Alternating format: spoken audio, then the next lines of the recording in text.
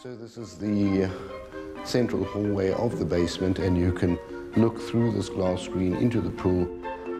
The super rich are maximising property value in the heart of London as never before. One person's large is another person's not, as, not large enough. But they're not building up, they're digging down, creating mega basements. The base of the house, which is the area that you see down there, is probably one of the deepest basements in this particular location. Some streets, three or four are all being done at once. And then no sooner is one finished than the next one starts up.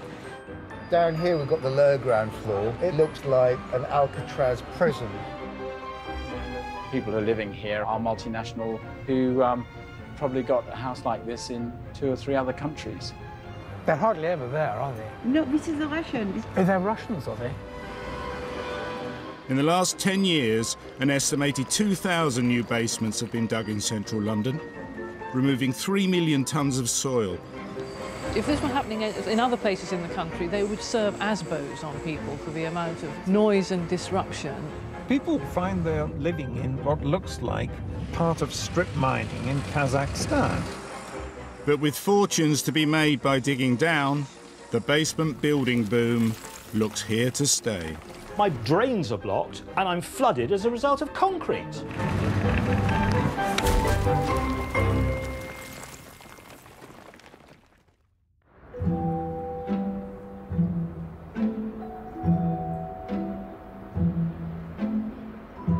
Central London is now one of the most expensive places to live on the planet.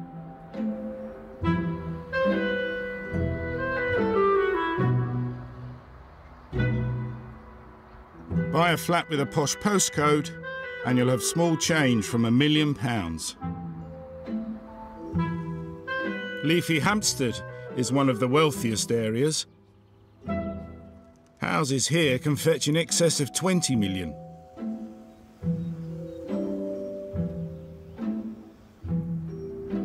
This eight bedroom Hampstead home looks substantial already, but it's got hidden depths. So if I take you out here, sorry it's a little wet and rainy today, England, um, you can notice that there are some skylights out here. So you've got two here, which when we go downstairs, I'll show you, the light comes into the uh, hallway. We have two skylights back there, which is in the gym. And then if you come out even further, all of this, and up to about where that skylight is, our pool is under that area there. By digging up their garden, Manala and her husband created a whole new living area for themselves and their four children. So I'll take you down into the lower ground. We don't call it a basement. Apparently I was told that because of the wonderful high ceilings, I should not be calling it a basement. Why not? That's a bit odd. Um, because if you, as you come down here, you'll see you've got something special. You've got very high ceilings. Um, you've got this wonderful stone being carried across. So I guess when you talk about basements in a traditional sense, you're thinking something that's cold and dingy and dark, but we try to achieve the opposite. So we call it the entertainment floor. the one floor basement, about the size of a tennis court, took over two years to build and cost a million pounds. In here we've got the cinema, you don't miss going out in that old traditional way? Sometimes. Sometimes it's quite nice to do that. And not everybody you want to bring into the home, so there might be some people you want to go out and see a film with. this is where we entertain people. And if you want to make an impression, you want to make sure that when they use the cloakroom, they're going to a nice room there as well. We also have speakers in the ceiling so they don't miss any part of the movie. So this is the wine cellar. You've drunk all the wine. Um, it's being depleted very quickly and I'm not replenishing it, so yes. um, we have two Sub-Zeros here and we've got a humidor as well. Why did you want a wine cellar? We thought that even if we may not have been avid collectors, we need to have something like this in here. It has to be something special for the next person to come in. Because if there's somebody with millions of pounds, that person can get maybe down the road the same property with a pool. So we, we had to do these, we felt we had to do these special things that we created. This is the Crestron system, and it controls everything from the heating to lighting to audiovisual. And so now I'm going to turn on the waterfall for you. So there you go. Wow. You sort of have a luxury hotel. I've been told that it's better than the Four Seasons sometimes. I think it's definitely helped with the value of the property because if we kept the house at 5,000 square feet, I would anticipate maybe 7 million. And now that we've doubled it, I would say about 13 million.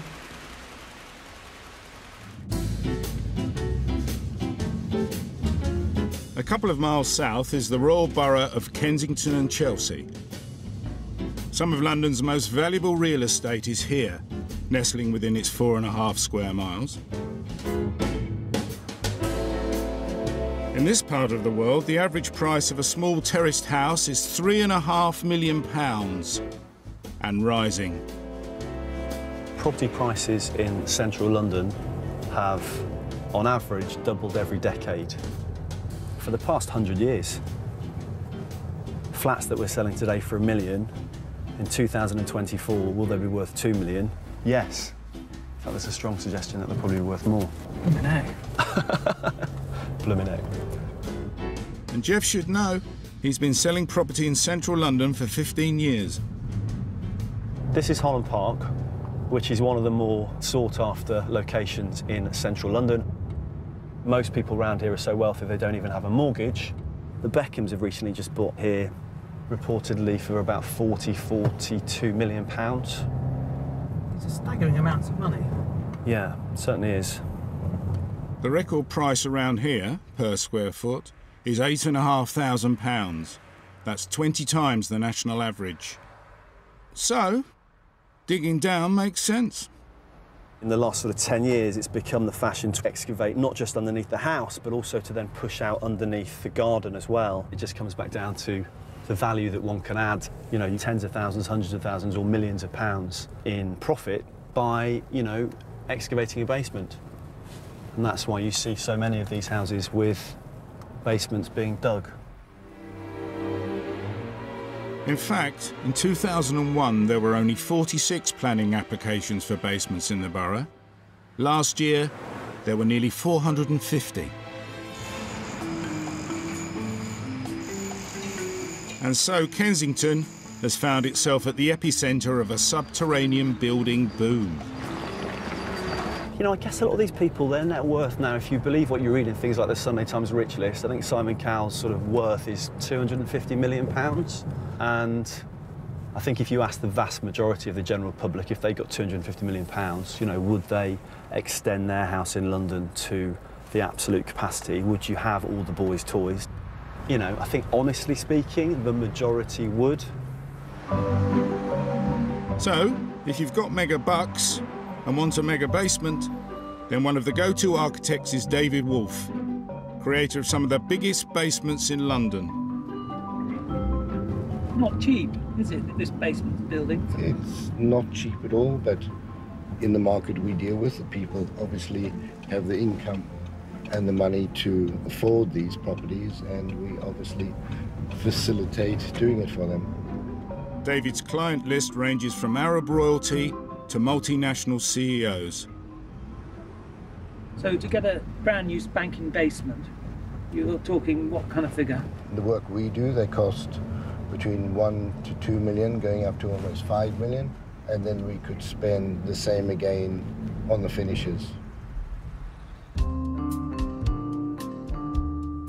So the basement in this house has got all the leisure facilities.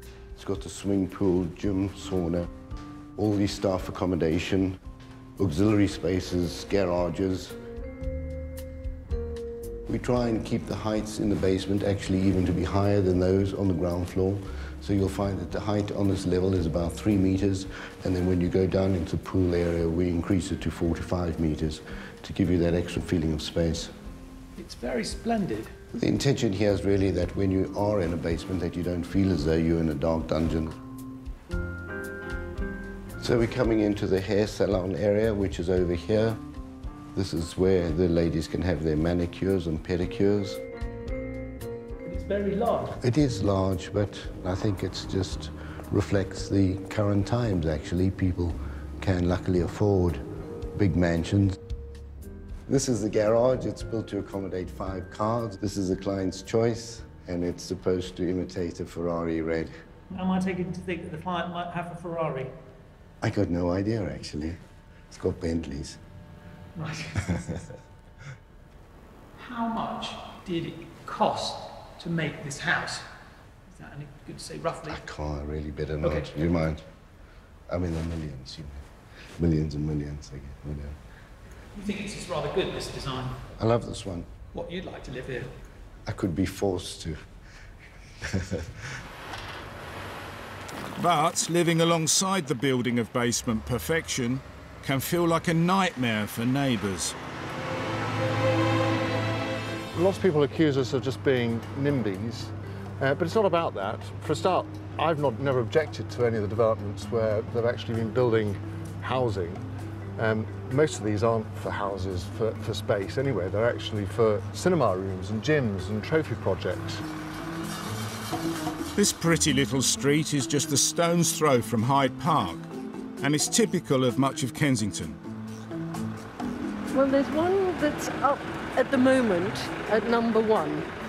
There's number eight that's happening now. With its period features and rich architectural history, it's protected by a conservation zone, There's another here at number three that is just completed. Which means owners can't build up or extend out, but they can dig down. One here goes down three levels, but it has a really, really tiny cinema room, which you couldn't swing a cat in. It had a utility room below that, and it had a wine cellar below that. It was such a nonsense. There are seven basements already on the go, and one more is awaiting planning permission from the council. Had seven years of, of digging next to me, more or less constant for the last seven years. It's absolute hell. It's a form of torture. That's relatively small compared with some of the ones that come down the street. The great thing is that everything's on. It's complete chaos for hours and hours a day. Because, you know, one of the things about basement work is, you know, it's substantively different from ordinary building work. Building up is, it can be noisy and unpleasant, but digging down, the house shakes constantly while they're doing it. The drilling noise is horrendous. Some of the builds that I've lived next door to took two and a half years to, to build. You can see now that lorry is on its way back. My car's paid the price. I just couldn't afford to put a new wing mirror back on. Three hundred pounds every time it came How off many- my. how many times did it Four come off? Times. Four times? Four times. You can see. Look what's happened here. Two lorries in less than ten minutes, and that's every day, all day. It's crazy, and nobody does anything to help. Absolutely no help at all. Last year, Kensington Council was up to its neck in a record number of complaints about basement building. If you look down there, that's a beautiful piece of landscape. I mean, they put back, there was always a basement there in the first place. Whether there's another basement underneath, I don't really know. There's one down there, you see, that, that's a basement there, because you can, you can always tell a basement, because you can see the grinder. Um, and that thing, that, that thing that goes over the pavement is the conveyor belt, and you put all the earth on there, you see, and it grinds up, and it goes into a skip, and then the skip lorry comes and takes it away. In this street, it looks like there's one down there as well. Oh, I'm sure. They're everywhere. It just changes the character of the street. Tim Coleridge fronts the council's basement policy. His inbox is overflowing with emails from angry residents. There we are, the earth of Kensington Chelsea leaving the borough. Borough's getting smaller every day. It's quite expensive earth as well. Very expensive earth, yes, that's right. As part of its drive to combat the mega basement craze, the council has frozen all new multi-level basement applications. I find it as an elected member quite embarrassing because when residents say, please, please do something about this, um, our lives are becoming a misery, the borough has changed. It's not like it was 20 years ago. If you're elected, you feel a great sense of responsibility for that. But of course, we have to work within planning law. So to some extent, we have been helpless. And uh, we don't like being helpless. So what we're doing now is making a real effort to change our policy. Um, we're not going to ban basements, but we will actually rein back the worst excesses of it. And the council's freeze on basements is bad news for property developers like Alan Waxman. When I'm out on my scooter and looking at opportunistic sites, I mean, generally speaking, what we look for is, is knackered old buildings. Some agents call me the mole because of the digging down. Uh, other agents may have more juicier words for me, I don't know. He's been in the basement game for 15 years and has made millions digging mega basements under some of London's most prestigious postcodes. The first Mews house I did, didn't even think of doing the basement. But now it's nearly like a necessary evil. Without doing it, you can't get the numbers to stack up. His latest project was greenlit before the council's ban. And this one wasn't found on a scooter sortie, but during an evening out. I met a girl at Annabel's nightclub in London, and then I negotiated with her to purchase her property from her. Was there a tingle? I beg your pardon? Did a tingle? You know what I mean? Is there? there mu- uh, you must have developed a sort of instinct for these things. Obviously, I wouldn't have bought it if I didn't see the potential. Um, Was it very expensive to purchase? the purchase price was uh, just below the million mark, which, uh, for what it was, was a lot of money, but for the potential of what you could do with it, that was the view that I had to take. This looking straight on is obviously the front elevation. Having demolished the original building, Alan's creating a three-storey house with a double basement underneath. To make the basement, he's dug down to the depth of two double-decker buses. This is going to be a fabulous property. It's going to be one of the only new built houses in Notting Hill. Here we're going down to the bottom of the property uh, where we've got the glass doors, uh, but this can be used as either a, a gym, uh, a bedroom, or, as it says there, a romping room, whatever that could be. Fun, whatever it is. Yeah. That's a lot of seating area. Having a large seating area it makes people feel popular because they think, well, if, I, if I'm going to buy this house, I'm going to have lots of friends. The build is in Kensington's trendy Notting Hill, home to supermodels, pop stars, and the odd politician.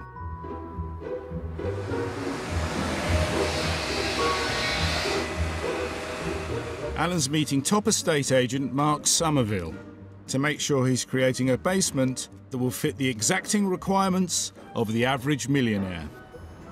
Over here we've got the kitchen. Yeah. Behind me we'll have the dining area. Glass spots there That'd be glass, yeah, with your car on top of it.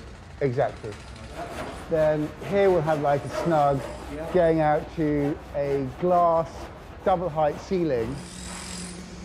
The works have been going on for over a year, and there's another to go before they're completed. So what have we got down here? So two potential bedrooms here. On the first floor we've got the master suite, and then on the second floor we've got two further bedroom suites. Yeah. And these are your, And then- your, your in-laws are down oh, All cleaner. When that's three thousand pounds a foot, this will certainly be fifteen hundred. You know, so the, the, the pound per square foot it, it wouldn't be worth doing if you were uh, outside the M25. But when you're here, it's very very advantageous. This this land below your house is priceless. When Alan finishes this, how much do you think he should try and go to market for? It should be north of five million.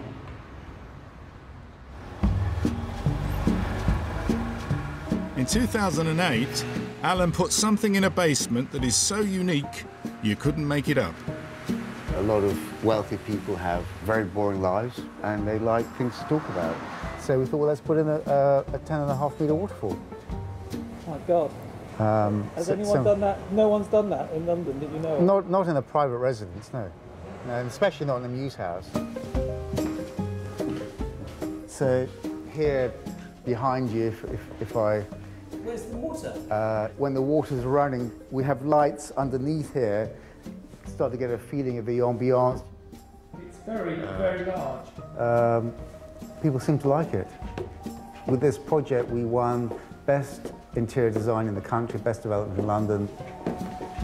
I mean, you're, you're seeing this, James, for the first time, and uh, I think you can agree you didn't expect to see what you saw.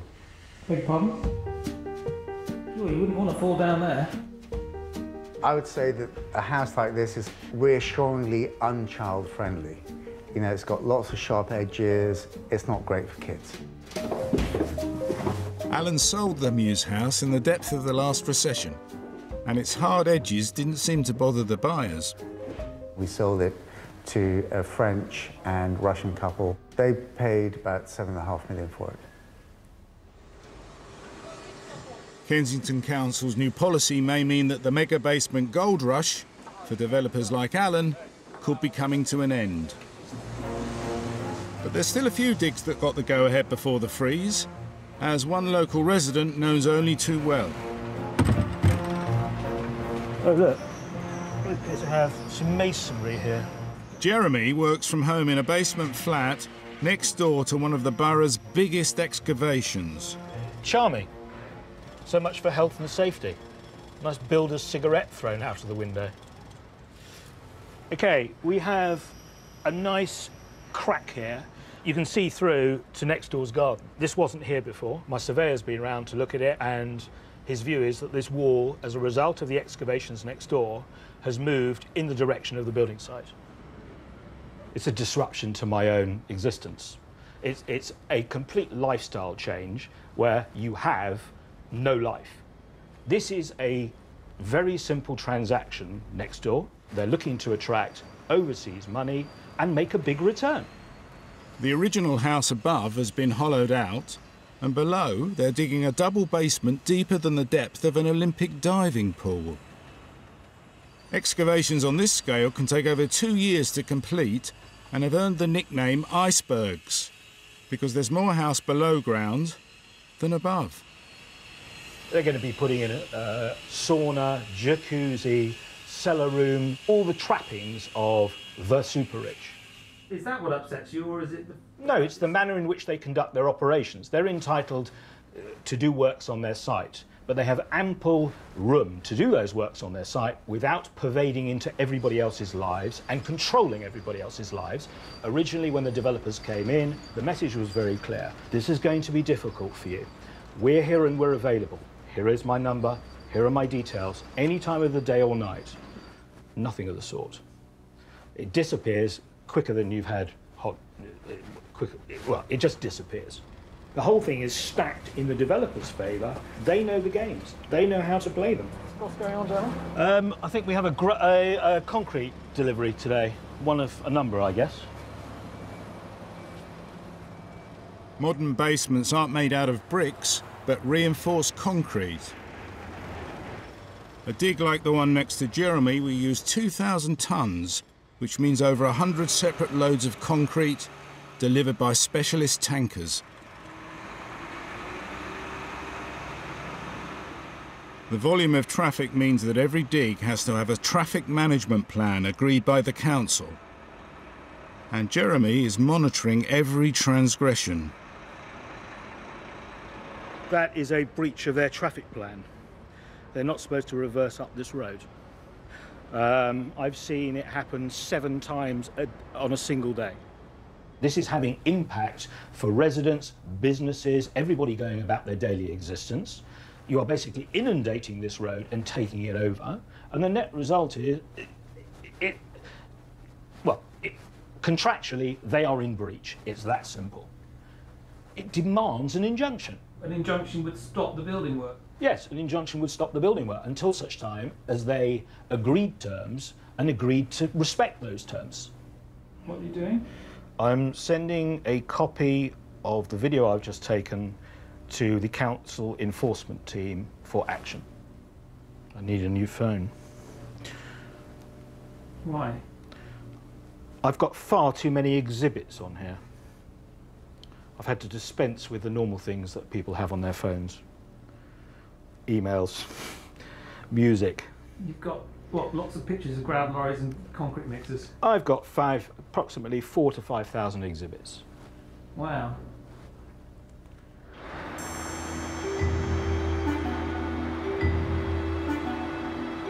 Despite the current freeze, the dig next door to Jeremy is just one of 200 taking place across the borough. And it's a fleet of grab lorries that are daily shipping over 10,000 tonnes of soil from central London.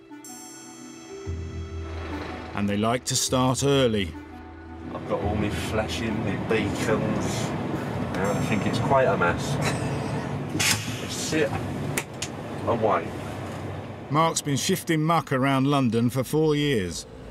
The last time I'd done this job, I was actually on the on the crane doing the grab, and one of these, there's a lady that lives along here. and She pulled up behind me and she said to me, "Look, you've got to move because I've got all my um, my shopping that's defrosting."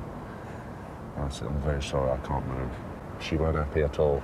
All my shopping's defrosting. She said to me, "If you if you if you got any conscience, you might make a grab driver. You got to be as ignorant as big shit you have." Strict rules prohibit grab lorries starting work before 8 a.m. Break them, and the developer can be fined thousands of pounds. It's time to wake up. Kensington and Chelsea. It's eight o'clock, it's eight o'clock. I'd love to get up at eight o'clock. I don't even get up eight o'clock on a Saturday.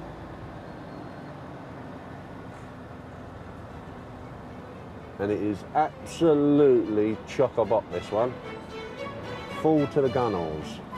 That'll do us.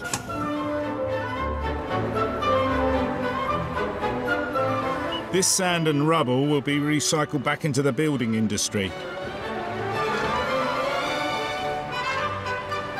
And the muck that's left will be used to reshape the fairways of some of the most exclusive golf clubs in the southeast. Don't stand there. No need to swear. I'm just trying to do my job, sir.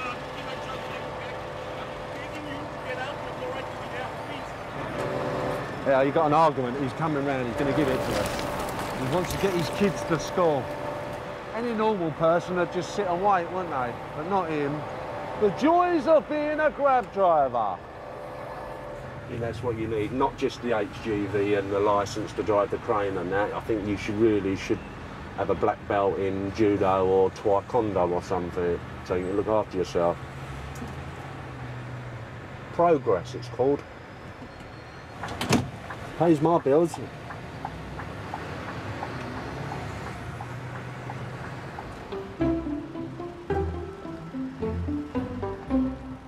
For one long-time Kensington resident, news of the freeze on mega basement builds hasn't come a moment too soon. This one's been at it for at least two years, probably three.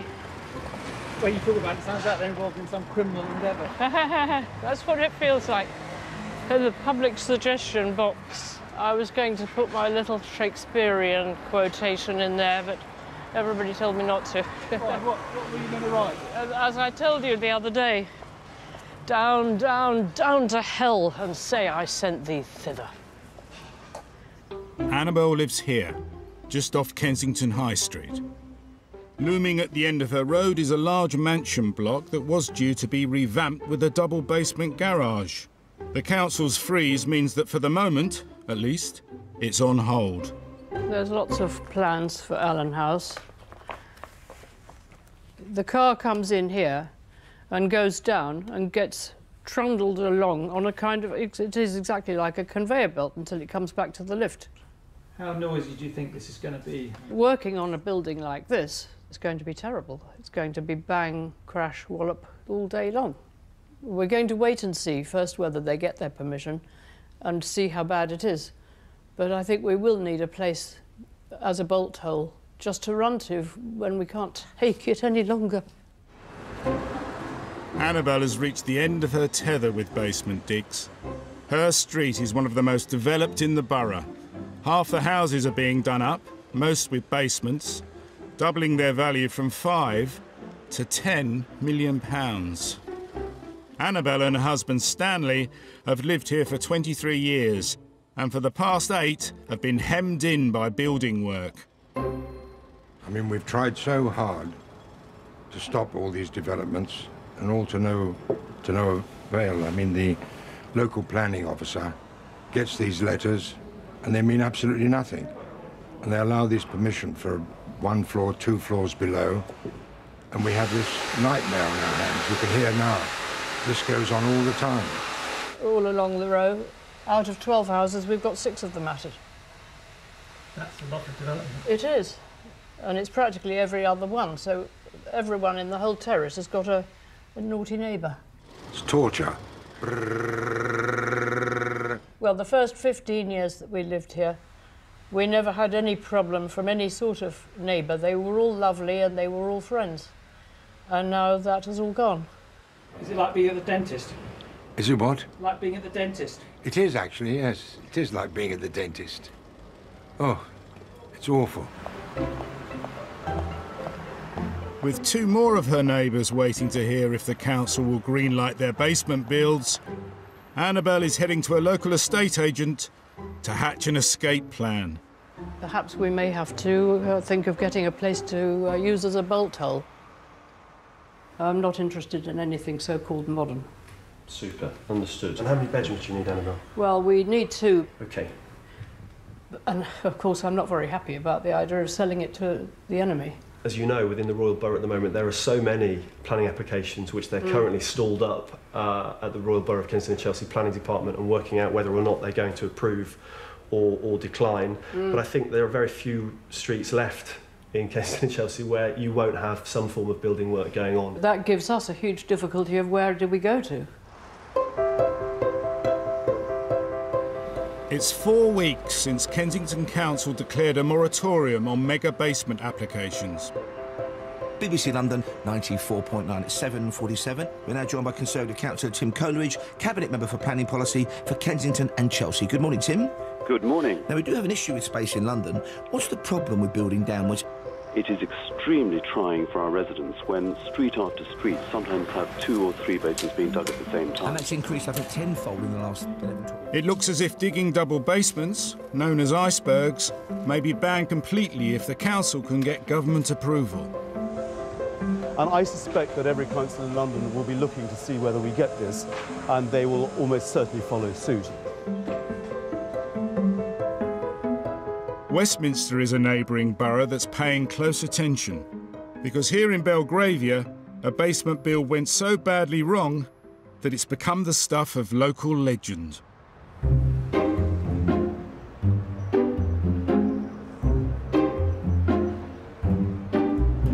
know, the house is, uh, is what I would describe as the benchmark case for disasters with property development in London. You mentioned Chester Row, and the taxi driver will throw back his head and laugh. And he goes, Oh, that's that house there with the skip in the road. And then I go, Yeah, that's us. Well, this is a Christmas card that we did the first Christmas it happened. The Evening Standard printed it on their Christmas Eve front cover. So you're sort of famous. For the wrong reasons. Four years on, the Hugh Williams still have a quarter of a million pound repair bill, plus their memories of an eventful night with a sunken skip. Well, um, it was actually in the morning. It was around about five o'clock in the morning, and I had been asleep, and I'd been with our housekeeper, Lean, and my family were away at our um, country house, and she came and woke me up. God almighty, Um, it looks extraordinary. What had happened to it? The skip had fallen and sunk into the street. Oh my god. The soil had been there for a substantial amount of time, and when it rained, it became a lot heavier. And the road where they'd been doing a double basement underneath, they were building a cinema or something, it had fallen in through the road and had destroyed all the piping. So water was going through their house and into our house, into our basement, um, and destroyed the bottom and all the foundations of our house. And we were just asked to come out, and luckily we didn't have the dogs here, otherwise they probably would have drowned. this is a video of it after skip had been removed. That's a lot of water. Yeah, it's a lot of water. Luca's dad Michael called in a structural engineer to look at the damage. He didn't like coming in this room I mean, he just basically said, I don't want to be in this room until we get some Acrow props. Once the Acrow props are in, it's perfectly all right to be in here, although it's obviously unsightly. We realised that the Party Wall Act was completely insufficient, and therefore we would have to try to sue the people next door just to put our house back in order. The property was owned by a company in an offshore tax haven. Both it and the basement subcontractor have since closed down. Then we had absolutely nobody to go against for restitution or rebuilding costs. I mean, forget it. There was just absolutely nobody there. You do sound angry, I have to say. you do. Of course, I'm, I'm angry underneath it. I, I think it's disgusting. I don't really want anybody to feel sorry for me, but I do want people to learn from this process and realize that actually when people do this kind of thing, it's completely irresponsible. The law is absolutely insufficient to protect homeowners.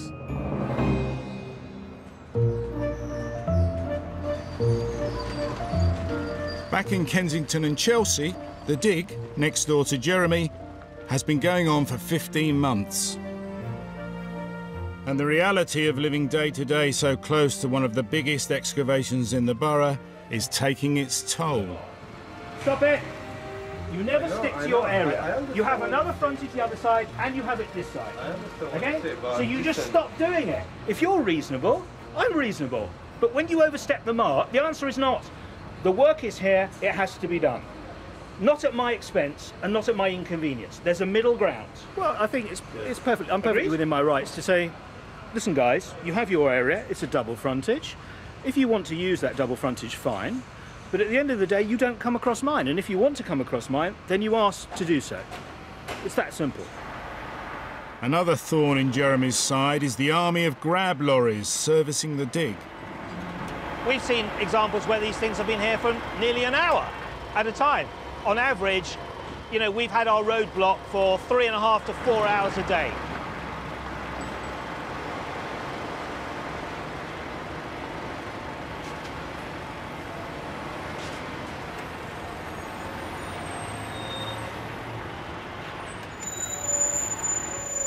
Can see it can't get round. It's totally impractical for this road. It's been passed by the council, it's totally impractical. They won't be able to get through here because there are two transits. They're going to back it up. So we'll just start the process we normally start.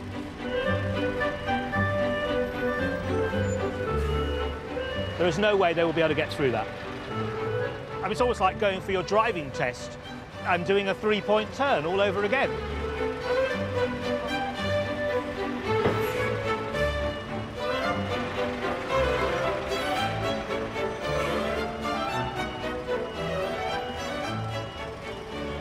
Well, he's obviously a more skillful driver than I thought. Does he always manage to get through? No, it's, um, I would say it's probably a 50% chance, to be honest. Though the council are investigating Jeremy's catalogue of complaints, they're just not moving fast enough for him. I can't believe that uh, the council authorities will not attend to this for the remaining duration of the build. It's not as if it's three months, it's over a year. We pay taxes and we pay these council officers' salaries. So why should they not be accountable to us? I'm worried that you're getting overwrought. I wouldn't, I, I wouldn't, I wouldn't necessarily say that it's stressing me out, but the fact is, it's, it's complications you could do without. These things could be sorted out and should be sorted out. I don't understand why they take so much time. I don't understand why they're so problematic. Um, is there an agenda here?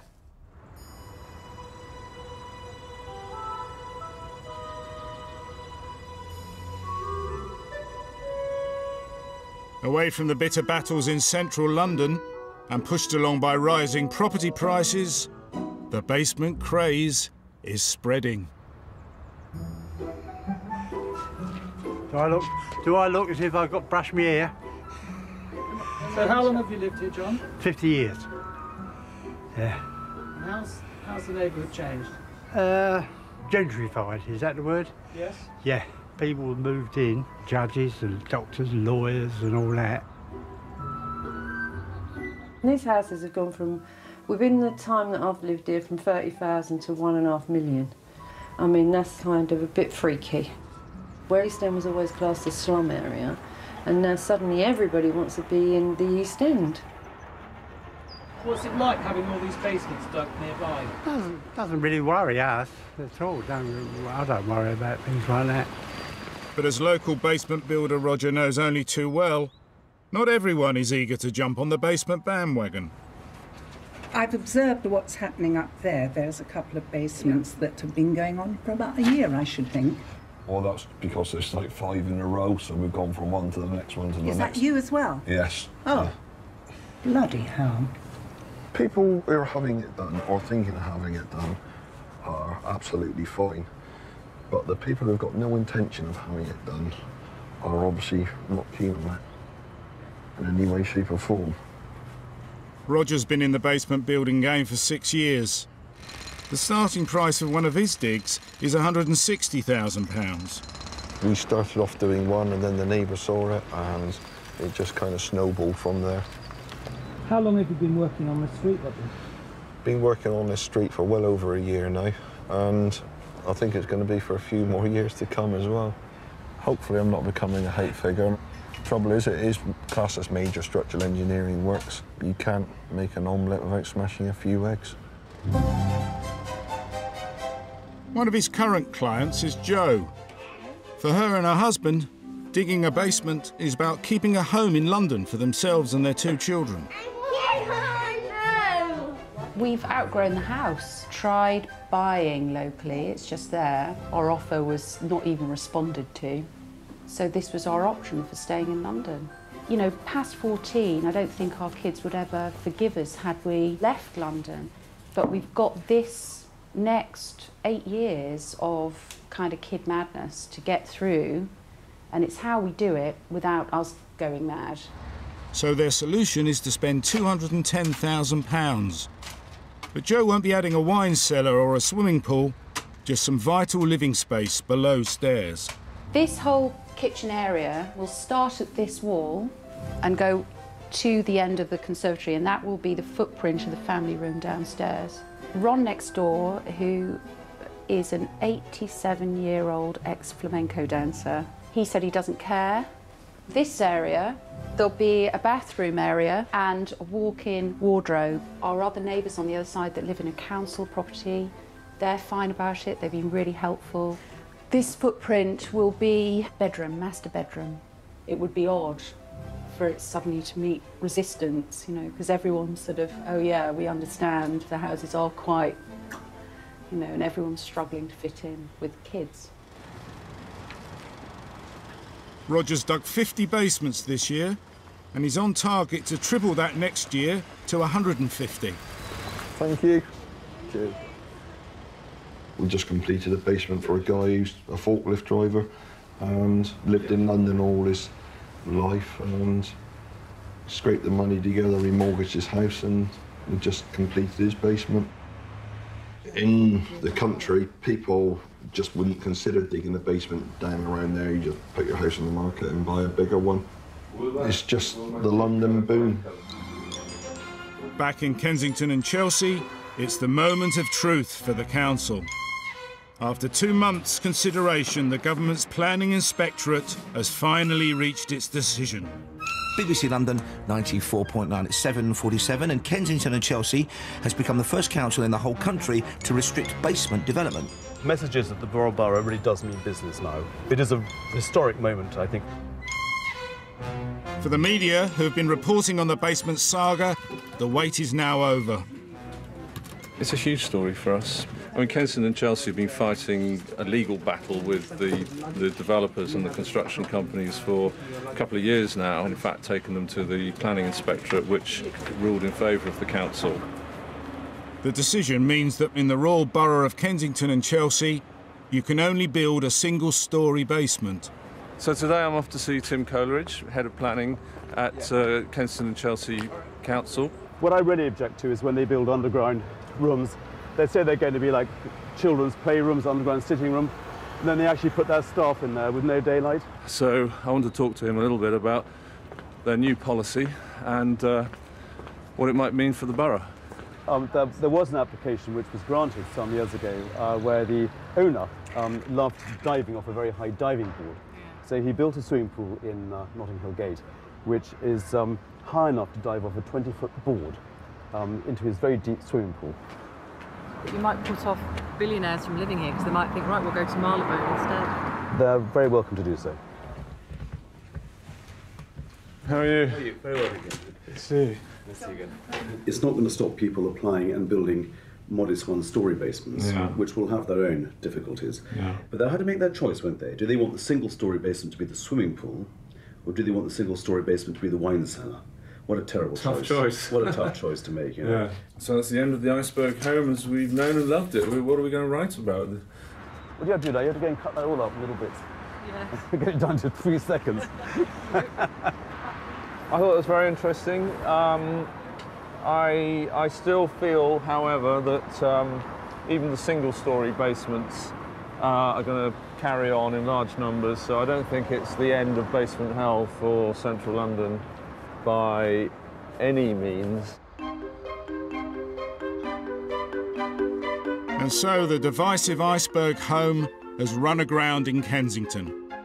There will be no more double or triple basements built here.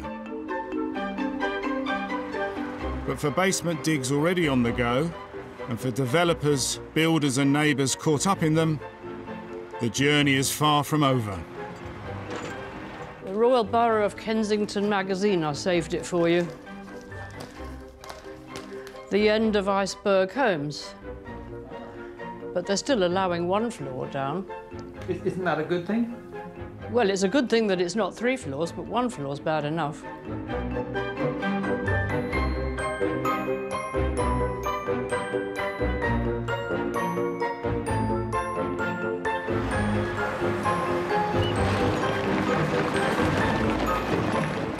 The answer is not, um, in my view, what, one where one should just walk away from it and allow developers who are making massive profit margins at the expense of the common man to just get away with this without any accountability whatsoever.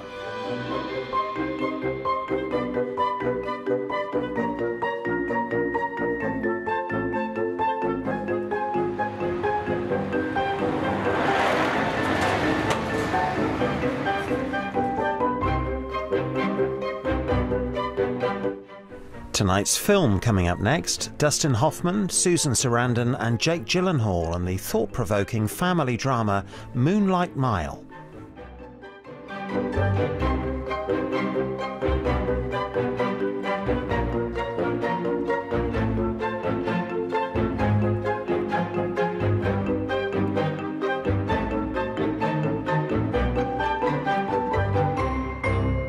So this is the central hallway of the basement and you can look through this glass screen into the pool.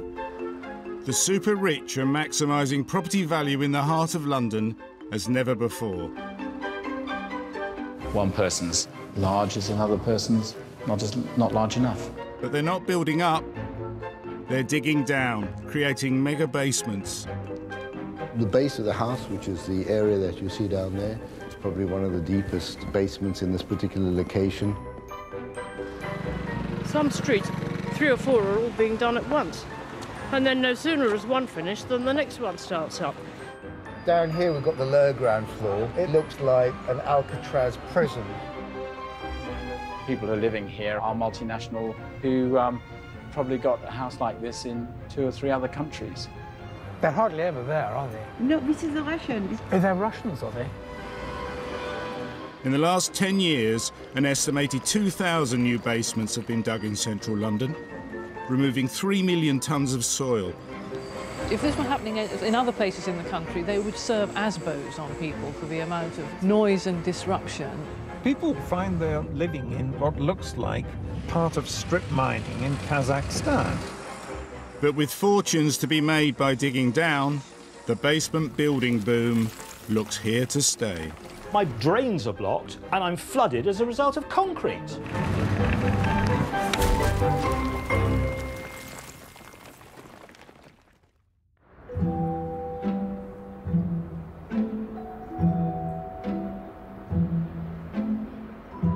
Central London is now one of the most expensive places to live on the planet.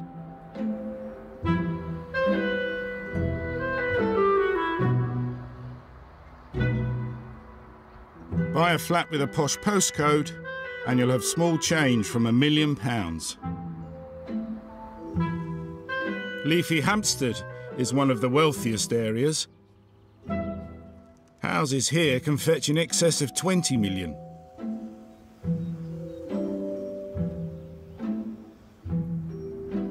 This eight bedroom Hampstead home looks substantial already, but it's got hidden depths. So if I take you out here, sorry it's a little wet and rainy today, England, um, you can notice that there are some skylights out here. So you've got two here, which when we go downstairs, I'll show you, the light comes into the uh, hallway. We have two skylights back there, which is in the gym. And then if you come out even further, all of this, and up to about where that skylight is, our pool is under that area there. By digging up their garden, Manala and her husband created a whole new living area for themselves and their four children.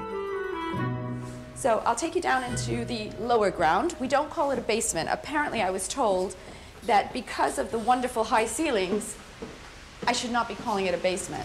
Why not? That's a bit odd. Um, because if you, as you come down here, you'll see you've got something special. You've got very high ceilings.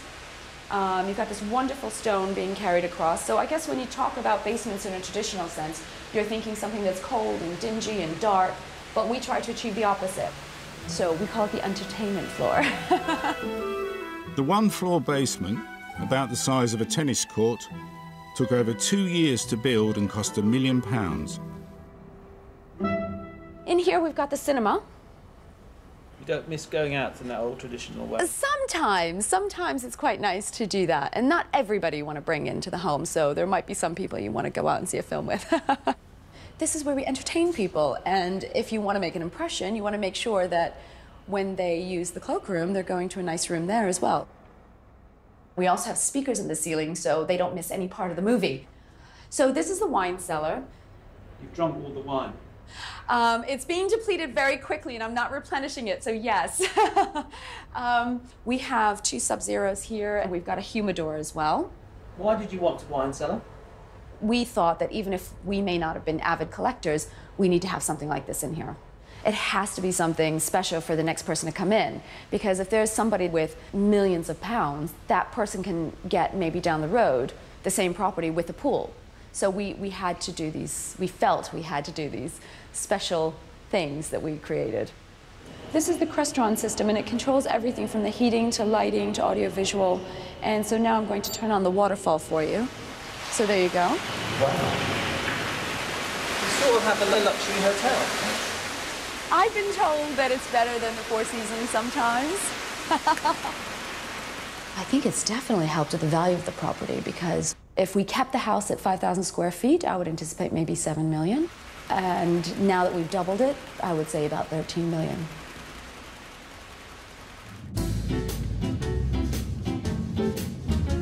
A couple of miles south is the Royal Borough of Kensington and Chelsea. Some of London's most valuable real estate is here, nestling within its four and a half square miles.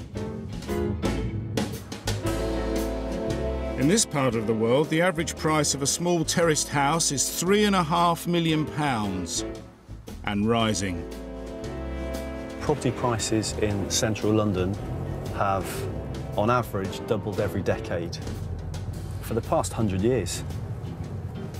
Flats that we're selling today for a million, in 2024, will they be worth 2 million? Yes. In fact, there's a strong suggestion that they'll probably be worth more. Blooming heck. Blooming heck. And Jeff should know he's been selling property in central London for 15 years. This is Holland Park, which is one of the more sought-after locations in central London. Most people around here are so wealthy they don't even have a mortgage. The Beckhams have recently just bought here, reportedly for about 40, 42 million pounds. It's a staggering amount of money. Yeah, certainly is. The record price around here, per square foot, is £8,500. That's 20 times the national average. So, Digging down makes sense. In the last sort of 10 years, it's become the fashion to excavate not just underneath the house, but also to then push out underneath the garden as well. It just comes back down to the value that one can add, you know, tens of thousands, hundreds of thousands, or millions of pounds in profit by, you know, excavating a basement.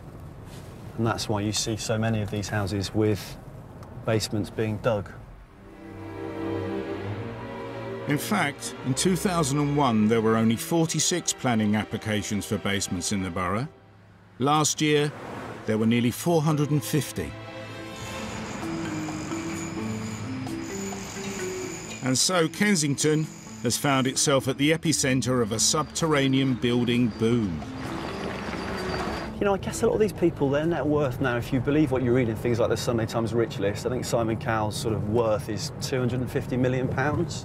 And I think if you ask the vast majority of the general public if they got 250 million pounds, you know, would they extend their house in London to the absolute capacity? Would you have all the boys' toys? You know, I think honestly speaking, the majority would. So, if you've got mega bucks and want a mega basement, then one of the go-to architects is David Wolfe, creator of some of the biggest basements in London. Not cheap, is it, this basement building? It's not cheap at all, but in the market we deal with, the people obviously have the income and the money to afford these properties, and we obviously facilitate doing it for them. David's client list ranges from Arab royalty to multinational CEOs. So to get a brand new spanking basement, you're talking what kind of figure? The work we do, they cost between one to two million, going up to almost five million, and then we could spend the same again on the finishes. So the basement in this house has got all the leisure facilities.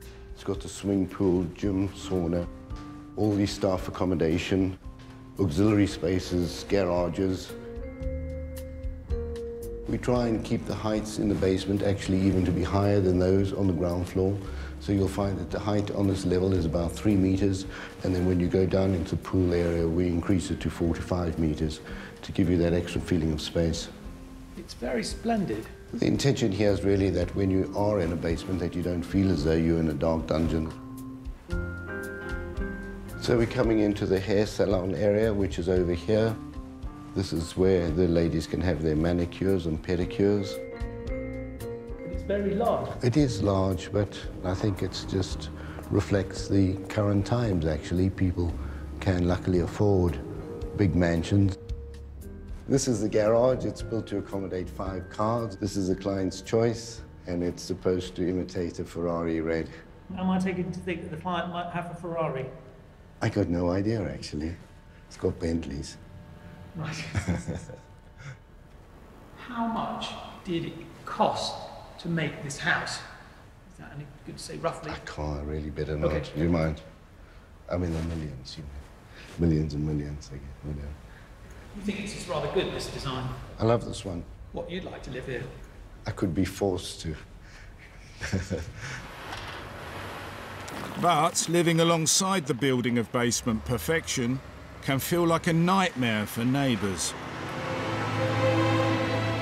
Lots of people accuse us of just being NIMBYs, uh, but it's not about that. For a start, I've not, never objected to any of the developments where they've actually been building housing. Um, most of these aren't for houses, for, for space anyway. They're actually for cinema rooms and gyms and trophy projects. This pretty little street is just a stone's throw from Hyde Park, and it's typical of much of Kensington. Well, there's one that's up at the moment at number one. There's number eight that's happening now. With its period features and rich architectural history, it's protected by a conservation zone, There's another here at number three that is just completed. Which means owners can't build up or extend out, but they can dig down.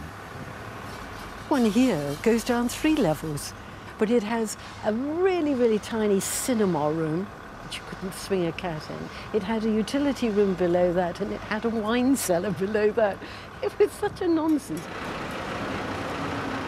There are seven basements already on the go, and one more is awaiting planning permission from the council. Had seven years of, of digging next to me, more or less constant for the last seven years. It's absolute hell. It's a form of torture. That's relatively small compared with some of the ones that come down the street. The great thing is that everything's on. It's complete chaos for hours and hours a day. Because, you know, one of the things about basement work is, you know, it's substantively different from ordinary building work. Building up is, it can be noisy and unpleasant, but digging down, the house shakes constantly while they're doing it. The drilling noise is horrendous. Some of the builds that I've lived next door to took two and a half years to, to build. You can see now that lorry is on its way back. My car's paid the price. I just couldn't afford to put a new wing mirror back on. £300 every time it came How off many- my... how many times did it Four come off? Times. Four times? Four times. You can see, look what's happened here. Two lorries in less than 10 minutes. And that's every day, all day. It's crazy. And nobody does anything to help. Absolutely no help at all.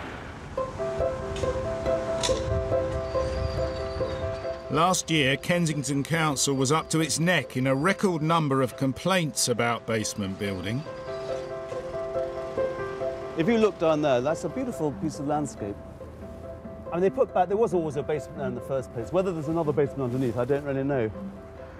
There's one down there, you see, that, that's a basement there, because you can, you can always tell a basement, because you can see the grinder.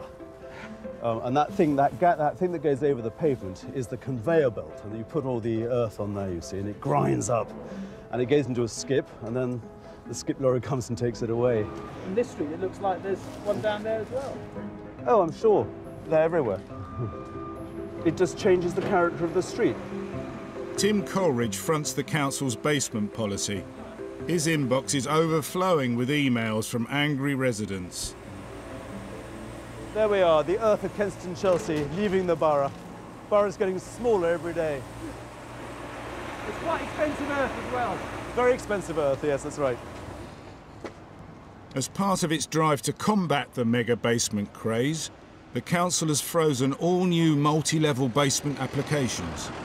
I find it as an elected member quite embarrassing because when residents say, please, please do something about this, um, our lives are becoming a misery, the borough has changed. It's not like it was 20 years ago. If you're elected, you feel a great sense of responsibility for that. But of course, we have to work within planning law. So to some extent, we have been helpless. And uh, we don't like being helpless. So what we're doing now is making a real effort to change our policy. Um, we're not going to ban basements, but we will actually rein back the worst excesses of it. And the council's freeze on basements is bad news for property developers like Alan Waxman. When I'm out on my scooter looking at opportunistic sites, I mean, generally speaking, what we look for is, is knackered old buildings. Some agents call me the mole because of the digging down. Uh, other agents may have more juicier words for me, I don't know. He's been in the basement game for 15 years and has made millions digging mega basements under some of London's most prestigious postcodes. The first Mews house I did, didn't even think of doing the basement. But now it's nearly like a necessary evil. Without doing it, you can't get the numbers to stack up. His latest project was greenlit before the council's ban. And this one wasn't found on a scooter sortie, but during an evening out.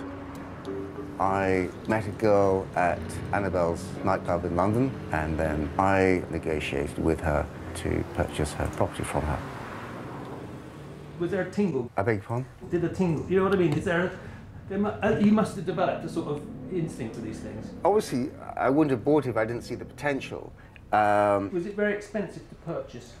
the purchase price was uh, just below the million mark, which, uh, for what it was, was a lot of money, but for the potential, what you could do with it, that was the view that I had to take. This looking straight on is obviously the front elevation. Having demolished the original building, Alan's creating a three-storey house with a double basement underneath. To make the basement, he's dug down to the depth of two double-decker buses. This is going to be a fabulous property. It's going to be one of the only new built houses in Notting Hill. Here we're going down to the bottom of the property uh, where we've got the glass doors, uh, but this can be used as either a, a gym, uh, a bedroom, or, as it says there, a romping room, whatever that could be. Fun, whatever it is. Yeah. That's a lot of seating area. Having a large seating area it makes people feel popular because they think, well, if, I, if I'm going to buy this house, I'm going to have lots of friends. The build is in Kensington's trendy Notting Hill, home to supermodels, pop stars, and the odd politician.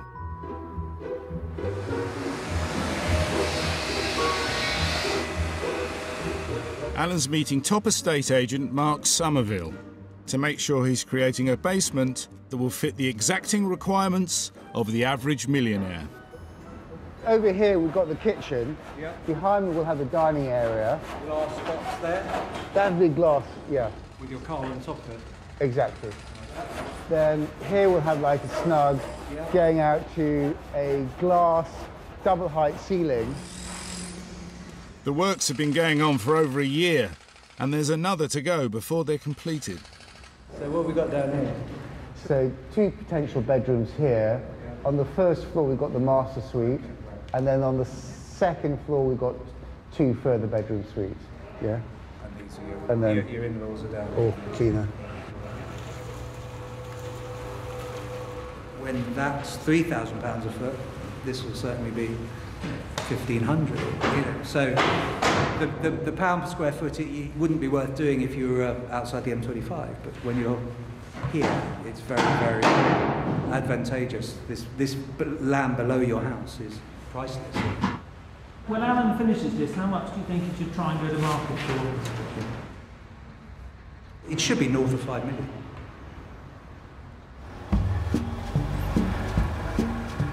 In 2008, Alan put something in a basement that is so unique you couldn't make it up. A lot of wealthy people have very boring lives, and they like things to talk about. So we thought, well, let's put in a, a, a ten and a half meter waterfall. Oh, My God. Um, Has so- anyone so- done that? No one's done that in London that you know of? Not, not in a private residence, no. no. And especially not in a mews house. So here behind you, if, if, if I, Where's the water? uh, when the water's running, we have lights underneath here, start to get a feeling of the ambiance. It's very, very large. Um, people seem to like it. With this project, we won Best Interior Design in the country, Best Development in London. I mean, you're, you're seeing this, James, for the first time, and uh, I think you can agree you didn't expect to see what you saw. Big pardon? Well, you wouldn't want to fall down there. I would say that a house like this is reassuringly unchild friendly. You know, it's got lots of sharp edges. It's not great for kids. Alan sold the Mews house in the depth of the last recession, and its hard edges didn't seem to bother the buyers. We sold it to a French and Russian couple. They paid about seven and a half million for it. Kensington Council's new policy may mean that the mega basement gold rush for developers like Alan could be coming to an end. But there's still a few digs that got the go ahead before the freeze, as one local resident knows only too well. Oh, look. We appear to have some masonry here. Jeremy works from home in a basement flat next door to one of the borough's biggest excavations. Charming. So much for health and safety. Nice builder's cigarette thrown out of the window. Okay, we have a nice crack here. You can see through to next door's garden. This wasn't here before. My surveyor's been around to look at it, and his view is that this wall, as a result of the excavations next door, has moved in the direction of the building site. It's a disruption to my own existence. It's, it's a complete lifestyle change where you have no life. This is a very simple transaction next door. They're looking to attract overseas money and make a big return. The original house above has been hollowed out, and below they're digging a double basement deeper than the depth of an Olympic diving pool. Excavations on this scale can take over two years to complete and have earned the nickname icebergs because there's more house below ground than above. They're going to be putting in a uh, sauna, jacuzzi, cellar room, all the trappings of the super rich. Is that what upsets you, or is it the No, it's the manner in which they conduct their operations. They're entitled uh, to do works on their site, but they have ample room to do those works on their site without pervading into everybody else's lives and controlling everybody else's lives. Originally, when the developers came in, the message was very clear. This is going to be difficult for you. We're here and we're available. Here is my number. Here are my details. Any time of the day or night. Nothing of the sort. It disappears quicker than you've had hot. Quicker, well, it just disappears. The whole thing is stacked in the developer's favour. They know the games. They know how to play them. What's going on, Darren? Um, I think we have a, gr- a, a concrete delivery today. One of a number, I guess. Modern basements aren't made out of bricks, but reinforced concrete. A dig like the one next to Jeremy will use 2,000 tonnes, which means over 100 separate loads of concrete delivered by specialist tankers. The volume of traffic means that every dig has to have a traffic management plan agreed by the council. And Jeremy is monitoring every transgression. That is a breach of their traffic plan. They're not supposed to reverse up this road. Um, I've seen it happen seven times a, on a single day. This is having impact for residents, businesses, everybody going about their daily existence. You are basically inundating this road and taking it over, and the net result is, it, it well, it, contractually they are in breach. It's that simple. It demands an injunction. An injunction would stop the building work. Yes, an injunction would stop the building work until such time as they agreed terms and agreed to respect those terms. What are you doing? I'm sending a copy of the video I've just taken to the council enforcement team for action. I need a new phone. Why? I've got far too many exhibits on here. I've had to dispense with the normal things that people have on their phones emails, music. You've got what? Lots of pictures of grab lorries and concrete mixers. I've got five, approximately four to five thousand exhibits. Wow.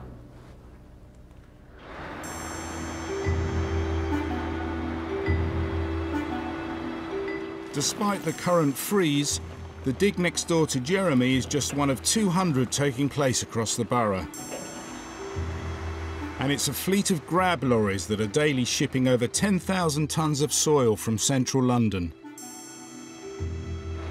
And they like to start early. I've got all my flashing, my beacons. I think it's quite a mess. Sit and wait. Mark's been shifting muck around London for four years. The last time I'd done this job, I was actually on the on the crane doing the grab, and one of these, there's a lady that lives along here. and She pulled up behind me and she said to me, "Look, you've got to move because I've got all my um, my shopping that's defrosting." And I said, "I'm very sorry, I can't move." She weren't happy at all. All my shopping's defrosting. She said to me, "If you if you if you got any conscience, you might make a grab driver. You've got to be as ignorant as big shit you have." Strict rules prohibit grab lorries starting work before 8 a.m. Break them, and the developer can be fined thousands of pounds. It's time to wake up, Kensington and Chelsea. It's eight o'clock, it's eight o'clock. I'd love to get up at eight o'clock. I don't even get up eight o'clock on a Saturday.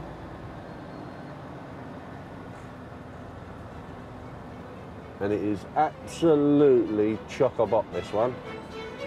Full to the gunnels. That'll do us.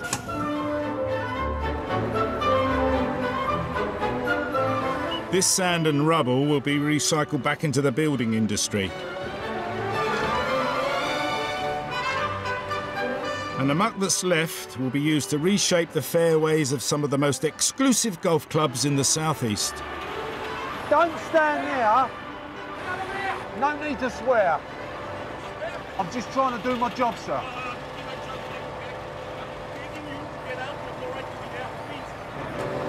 Yeah, you got an argument. He's coming round. He's going to give it to us. He wants to get his kids to school. Any normal person would just sit and wait, wouldn't they? But not him. The joys of being a grab driver.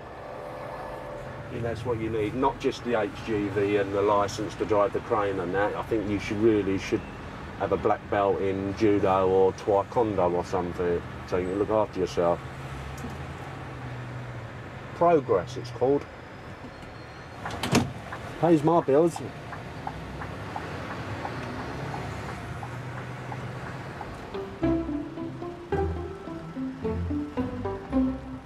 For one long-time Kensington resident, news of the freeze on mega basement builds hasn't come a moment too soon.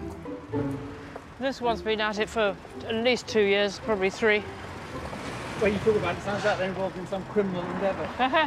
That's what it feels like. In the public suggestion box, I was going to put my little Shakespearean quotation in there, but everybody told me not to. Right, what, what were you going to write? As- As I told you the other day, down, down, down to hell, and say I sent thee thither. Annabel lives here, just off Kensington High Street. Looming at the end of her road is a large mansion block that was due to be revamped with a double basement garage.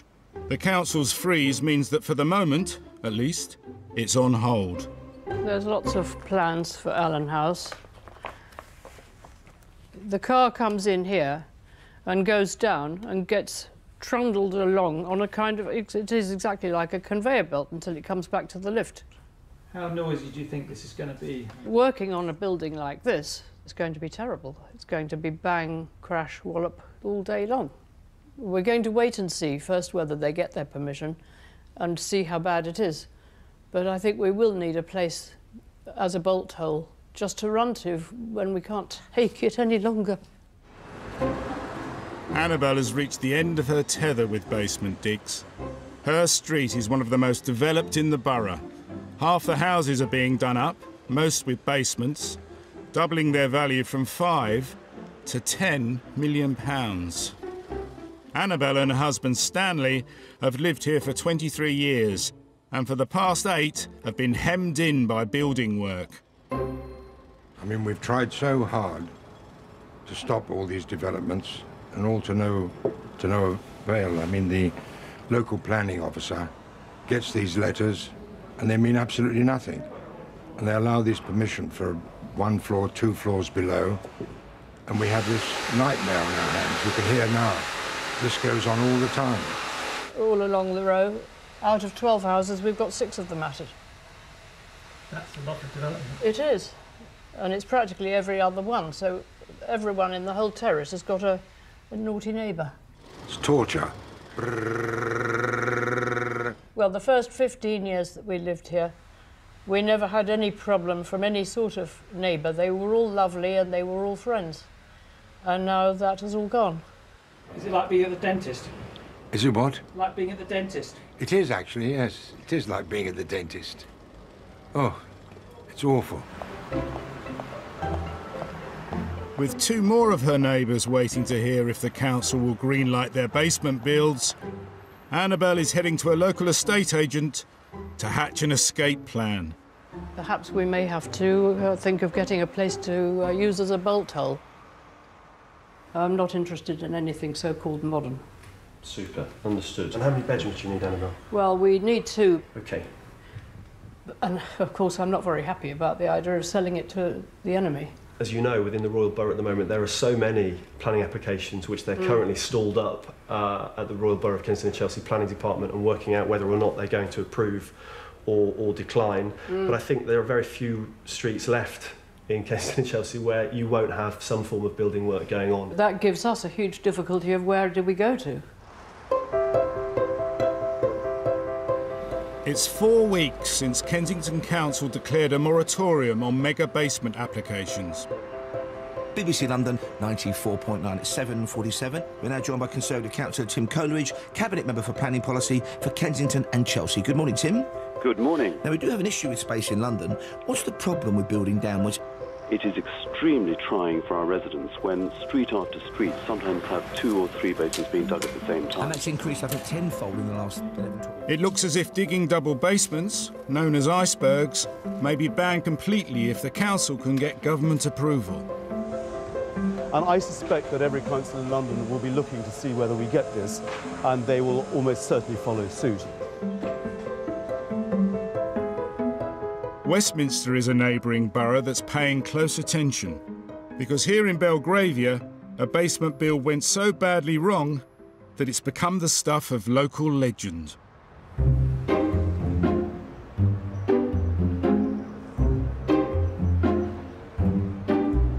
You know, the house is, uh, is what I would describe as the benchmark case for disasters with property development in London. You mentioned Chester Row, and the taxi driver will throw back his head and laugh. And he goes, Oh, that's that house there with the skip in the road. And then I go, Yeah, that's us. Well, this is a Christmas card that we did the first Christmas it happened. The Evening Standard printed it on their Christmas Eve front cover. So you're sort of famous. For the wrong reasons. Four years on, the Hugh Williams still have a quarter of a million pound repair bill, plus their memories of an eventful night with a sunken skip. Well, um,